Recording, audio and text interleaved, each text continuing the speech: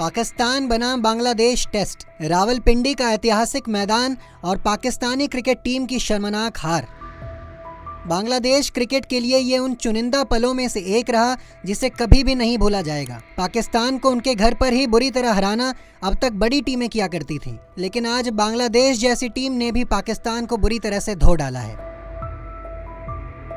बांग्लादेश जैसी छोटी टीमें क्रिकेट के इस फॉर्मेट पर ज़्यादा फोकस नहीं करती हैं। लेकिन फिर भी उन्होंने पाकिस्तान की टीम के खिलाफ टेस्ट सीरीज़ में अपना दबदबा बनाया और सीरीज़ दो शून्य से जीती। सीरीज़ में खेले गए दोनों मुकाबलों के दौरान पाकिस्तान की टीम पूरी तरह से कमज़ोर नज़र आई। पाकिस्तान और बांग्लादेश की टीमों के बीच खेले गए दूसरे टेस्ट मैच में बांग्लादेश की टीम के कप्तान नजमुल हुसैन शांतो ने टॉस जीतकर पहले गेंदबाजी करने का फैसला लिया। टेस्ट मैच के पहले दिन बारिश के कारण एक भी गेंद नहीं फेंकी गई। वहीं खेल के दूसरे दिन पाकिस्तान की टीम बल्लेबाजी करने के लिए आई और वो दो सौ चौहत्तर रनों के स्कोर पर ऑल आउट हो गई। इस दौरान पाकिस्तान की टीम की तरफ़ से सैम अयूब ने अंठावन, शान मसूद ने संतावन रन और आगा सलमान ने चौवन रनों की पारी खेली। वहीं बांग्लादेश के लिए मेहदी हसन मिराज ने पाँच विकेट लिए।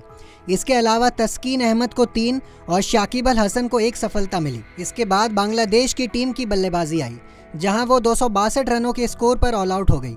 हालाँकि इस पारी में बांग्लादेश की टीम को बेहद ख़राब शुरुआत मिली थी। उनकी टीम ने सिर्फ़ 26 रन के स्कोर पर छः विकेट गंवा दिए थे। हालाँकि टीम के विकेट कीपर बल्लेबाज लिटन दास और मेहदी हसन मिराज ने पारी को संभाला और टीम को एक अच्छे स्कोर तक पहुँचाया। जहाँ पाकिस्तान के पास सिर्फ़ 12 रनों की लीड रह गई। 12 रनों के मामूली लीड के साथ मैदान पर उतरी पाकिस्तानी टीम को बांग्लादेश ने सिर्फ़ 172 रनों पर ऑल आउट कर दिया। बांग्लादेश की टीम ने जब पाकिस्तान को दूसरे टेस्ट मैच की दूसरी पारी में ऑल आउट किया, तब सभी 10 विकेट उनके तेज गेंदबाजों ने झटके। इससे पहले कभी भी ऐसा नहीं हुआ था।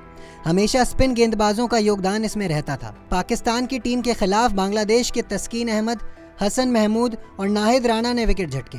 इन तीनों गेंदबाजों ने कमाल का प्रदर्शन किया। इस दौरान हसन महमूद ने पाँच विकेट हासिल किए। वहीं नाहिद राणा ने चार और तस्कीन अहमद ने एक विकेट हासिल किया और बांग्लादेश को जीत के लिए सिर्फ़ एक रनों का लक्ष्य मिला, जिसे उन्होंने बड़ी आसानी के साथ सिर्फ़ चार विकेट खोकर हासिल कर लिया।